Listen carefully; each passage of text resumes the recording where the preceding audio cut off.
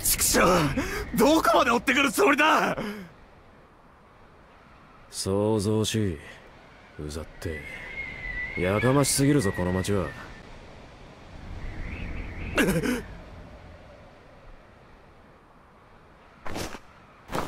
昼も夜も眠らねえときた。やってられねえ。俺は一体いつ寝ればいい？あの人は？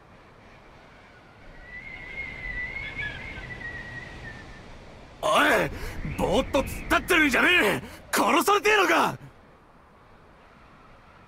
おまけにてめえみてえなクズが絶えず湧く。わめくな畜生。人の言葉を喋れ。見ることができねえ俺はよく聞いちまう。その汚え鳴き声はひどく耳に触るんだ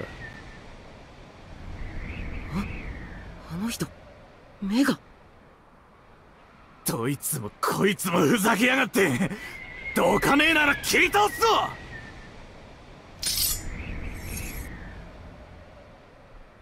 そこの人逃げてください。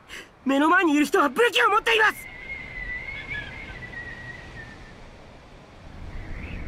皆まで言うなよ名も知らん小僧。そればっかりは聞かずともわかる汚えさっきだ。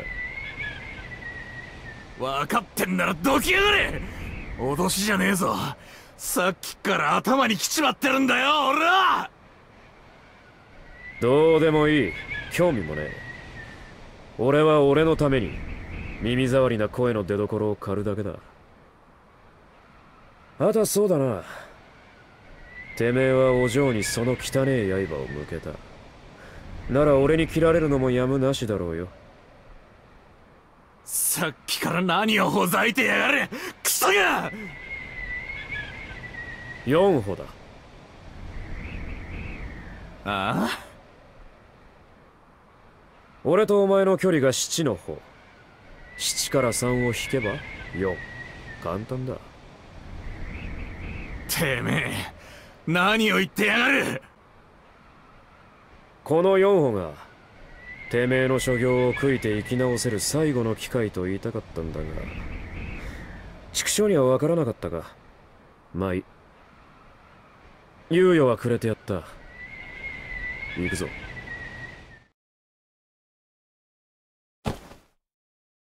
1行かれてんのかてめえ。獲物も抜かずに何してやがる。2なめやがって。本当にぶっ殺してやる。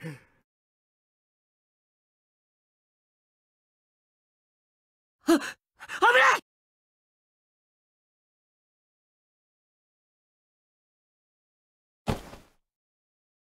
！3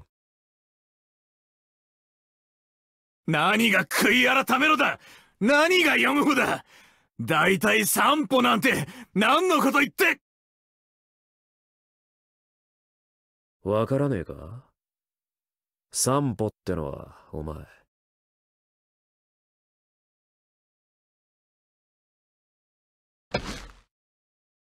俺の間合いだ。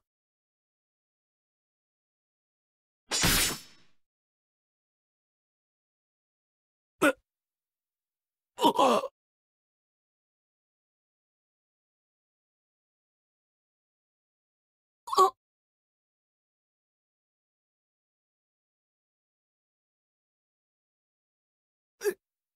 いつ切られて。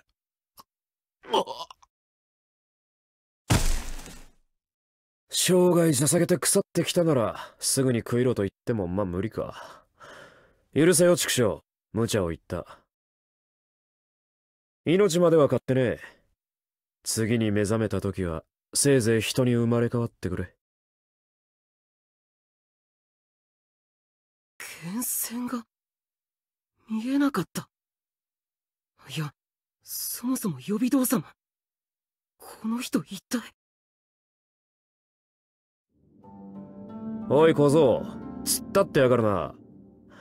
俺はこの後のことは知らん。何とかしろ。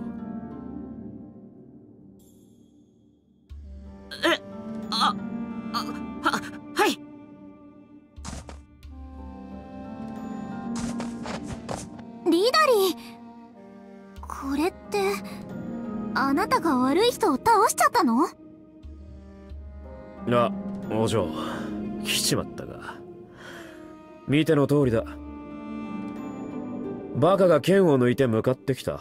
だから切った。それだけだ。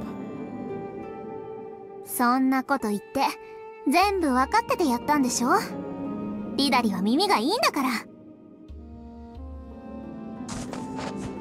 たタルビーさんこの人とはお知り合いなんですか？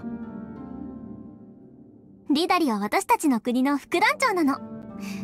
いつも難しいことを言って格好をつけてるの。でもリダリは本当にかっこいいから。だからしょうがないの。やれやれ。お嬢の前じゃ俺も道家だ。おい小僧このことは忘れろ。ただのカッコつけが暴れただけだえそんなことはそれよりもリダリこの後みんなとご飯を食べるの。美味しい酒場を教えてもらったから一緒に行きましょやめておく。この都市の酒場はうるさすぎる。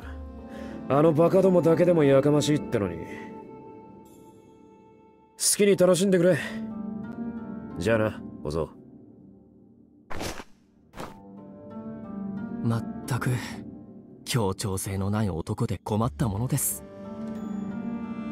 うでもリダリだからしょうがないわ。それに私たちのことをちゃんと心配してくれているもの。それじゃあ春姫たちのところへ戻りましょう。あでも倒れてるこの人を運ばないと。後始末は全て私がやっておきます。ひい様は先に皆様の場所へベル殿と共に戻られてください。